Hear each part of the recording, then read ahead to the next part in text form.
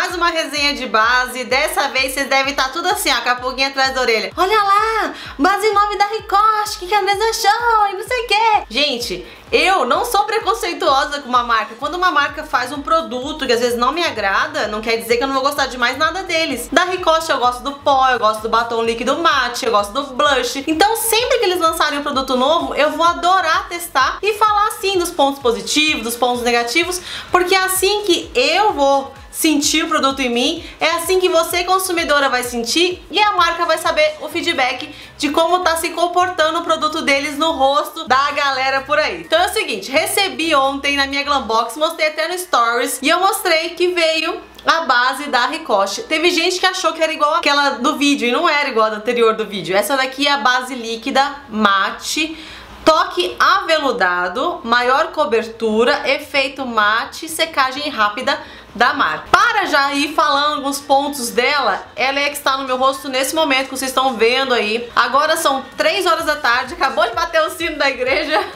não tem pó, não tem corretivo, tá? Só tem assim, uma maquiagem nos olhos, batom, um pouquinho de blush e iluminador. Porque eu queria ver exatamente o comportamento da base ao longo do dia. Então, das 9 até as 3 da tarde, ó como ela está muito legal. Vale a pena lembrar que eu moro numa região que agora o tempo é seco, mais frio e a minha pele é uma pele sensível, que fica avermelhada com facilidade, tem super tendências de alergia e também é uma pele mais pra seca, ela fica entre normal e seca. No verão eu transpiro bastante no verão, mas eu não chego a ficar com a pele extremamente oleosa, tá? Então, esses são os pontos para vocês verem como a base se comporta em mim e pode se comportar também na sua pele, tá? Então vamos lá? Essa aqui é a base da Ricoste, base líquida mate.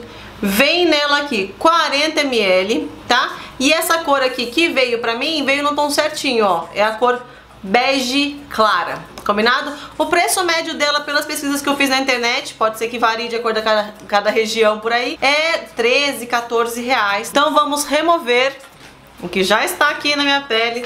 Vou deixar o olhinho e a boquinha, tá bom?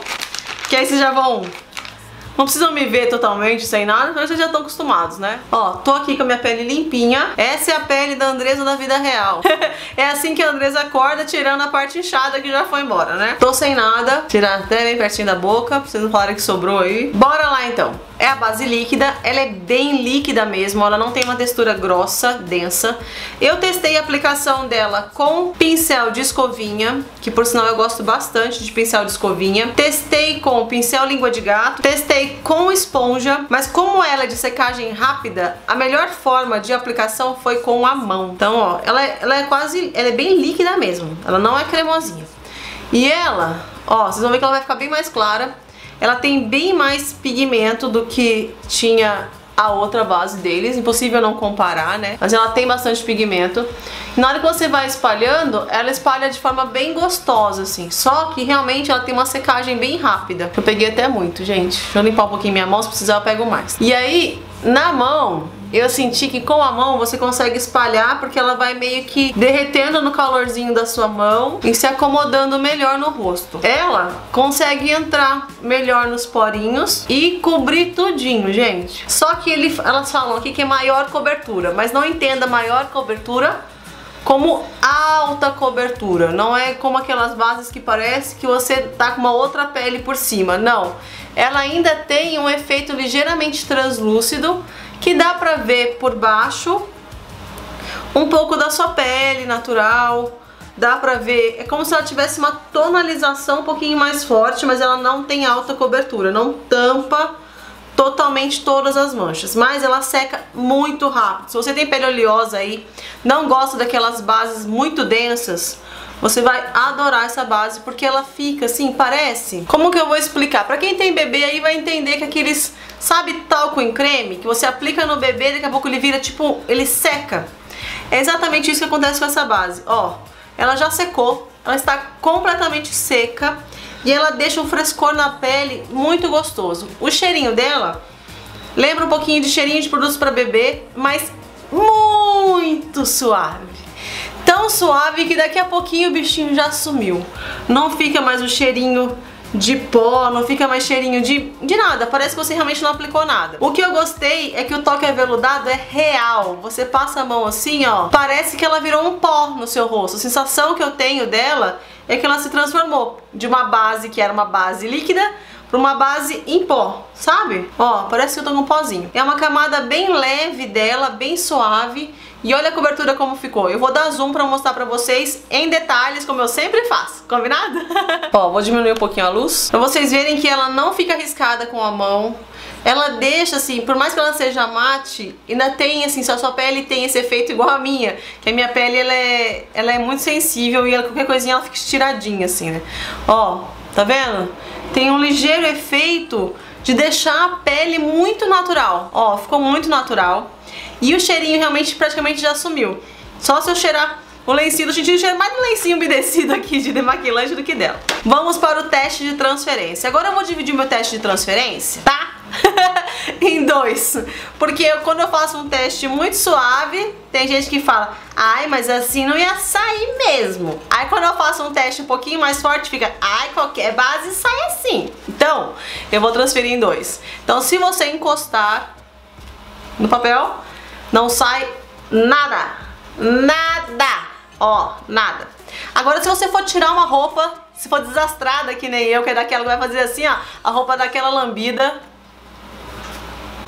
não sai praticamente nada. Saiu um de beijinho aqui, mas, gente, nada, nada, e ela tá aqui ainda, ó.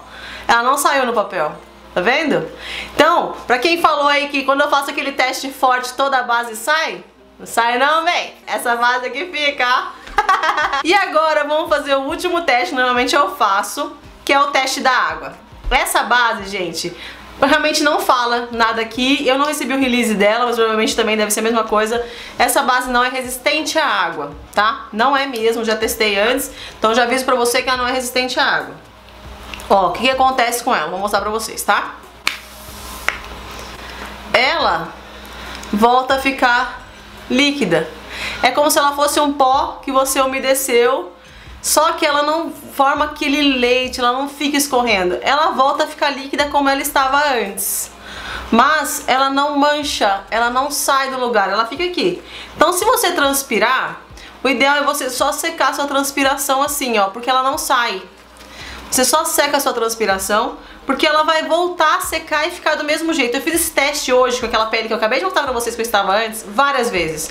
Eu jogava água, passava a mão, deixava secar pra ver se manchava, aí vinha de novo, secava de novo, manchava de novo, banana, e ela se comportou bem. Então se você por acaso for aplicar essa base e você sabe que você transpira muito, que você tá num lugar muito quente, o ideal é você não ficar passando a mão, porque ó, já secou, e já voltou como estava antes, tá vendo? Ela não ficou riscada, ela não manchou, ela continuou se comportando do mesmo jeito. Então, o único probleminha dessa base pra mim é ela não ser resistente à água, no sentido dela fazer aquele efeito couve, sabe? Que você joga assim, parece que a água corre por cima. Não, ela absorve e daqui a pouco a água evapora de novo. É o único defeito dessa base, tá? Então se você aí tem pele oleosa, gosta de base com efeito mate natural, sem ser alta cobertura, que é uma base, tem um preço baratinho, fácil de aplicar com a mão, ó, essa daqui, tá?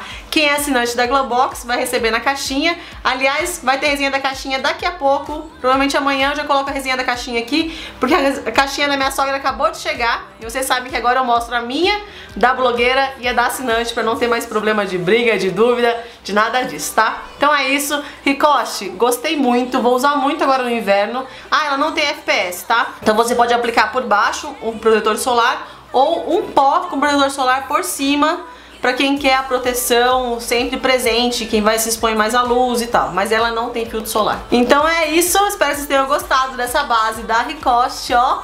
Gente, ó, fica sequinha e ó, ó, não sai, não sai. Beijo. Não se esquece, tá? Se inscreve aqui embaixo, comenta, compartilha. Um beijo enorme e até a próxima. Tchau, tchau.